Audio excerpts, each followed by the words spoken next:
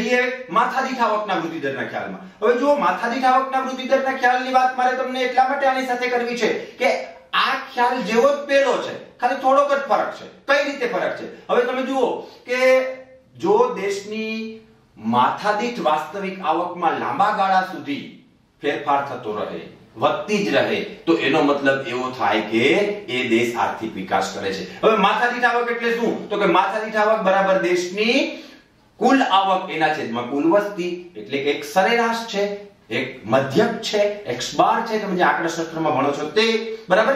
તો કોઈ પણ દેશની માથાદીઠ આવકમાં વધારો થાય, તો એ કોઈ પણ દેશના જીવન ધોરણમાં પણ સુધારો કરે છે, બરાબર?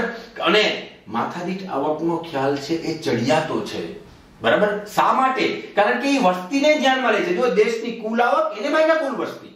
વસ્તીને પણ ધ્યાનમાં લીધું. આગળના ખ્યાલની અંદર તમે જોજો, રાષ્ટ્રીય આવકના ખ્યાલમાં વસ્તી શું કરતી હતી? મર્યાદાની અંદર આવી હતી વસ્તી. અહીંયા એટલા માટે વસ્તીને ધ્યાનમાં લેવામાં આવી. એટલે વસ્તીને પણ ધ્યાનમાં લેવામાં આવે અને યુનોએ પણ આ માથાદીઠ આવકના ખ્યાલને સ્વીકારવાની હિમાયત કરી છે. હવે આમાં એવું છે, માથાદીઠ આવક નો દર વધારે અથવા તો માથાદીઠ આવક વધારે એટલે વિકાસ દર ઊંચો. માથાદીઠ આવકનો વૃદ્ધિ દર કે માથાદીઠ આવક નીચી એટલે વિકાસ દર નીચો. માથાદીઠ આવકનો વૃદ્ધિ છે સ્થિર. અથવા તો કોઈ વધારે ન થતું હોય, અથવા તો માથાની આવક વધતી ન હોય, તો એને કહેવાય સ્થગિતતાની સ્થિતિ. જે આગળ હતું એ બેમાં સેમ છે, એટલા માટે હું બેને સાથે લઉં છું. બરાબર? એના પછી આવે માથાની થાવક ઘટતી હોય, તો પીછેહટની સ્થિતિ. આપણા દેશની અંદર પણ માથાની થાવક છે.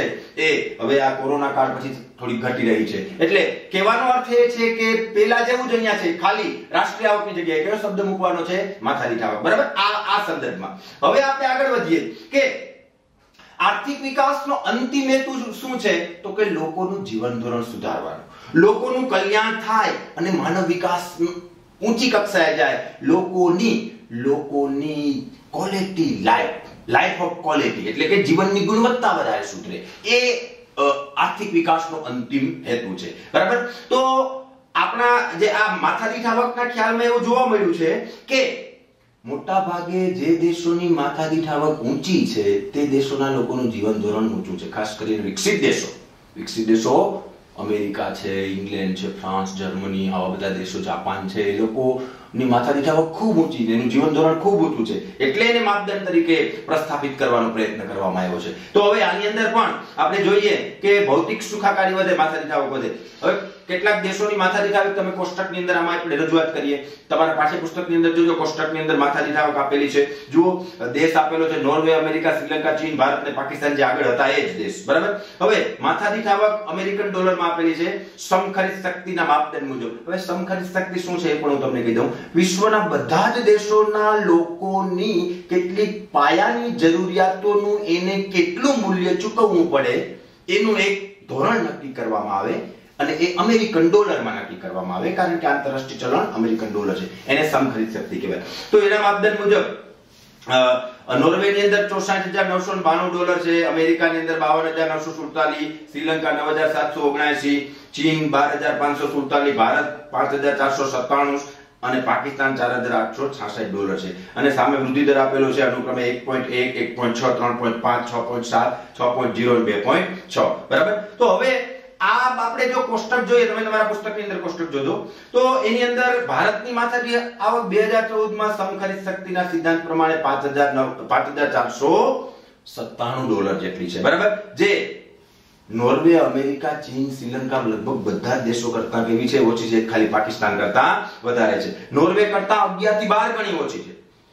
એટલે નોર્વે નો વિકાસ ભારત કરતા કેટલો વધારે ગણાય? 11 થી બાર ગણો વધારે ગણાય. એટલે આવી રીતે આપણે એમ કહી શકીએ કે માથાની આવકનો વૃદ્ધિ દર ઊંચો, તેમ આર્થિક વિકાસ વધારે, તો ભારતનો માથાની આવકનો વૃદ્ધિ દર તો ઊંચો છે. વૃદ્ધિ કેવી રીતે શોધવામાં આવે જાણો છો ને? આગળના વર્ષ હોય એના કરતા અત્યારે કેટલો વધારો થયો એને વૃદ્ધિ દર કહેવાય. તો માથાદીઠ આવકનો વૃદ્ધિ દર તો ભારતની અંદર 6.0 છે. ચીનની અંદર 6.7 છે. બરાબર? એટલે વધારે છે. પણ બીજા દેશોની માથાદીઠ આવક આપણા કરતા કેવી છે? વધારે છે. હા, એ આપણે કહી શકીએ કે આપણી માથાદીઠ આવકનો વધારો ઝડપથી થઈ રહ્યો છે. આ વાત કરીએ આપણે. હવે આની મર્યાદા આપણે જોઈએ. તો કેટલીક રાષ્ટ્રીય આવકની અંદર જે મર્યાદાઓ છે, એ જ મર્યાદાઓ છે. એ આમાં પણ આવશે, પણ વિશેષ કેટલીક મર્યાદા આવે. એમાં પહેલી જ મર્યાદા છે માત્ર અંદાજો. હવે જ્યારે માથાદીઠ આવકની આપણે વાત કરીએ, તો દેશની રાષ્ટ્રીય આવકની ગણતરી દર વર્ષે થાય.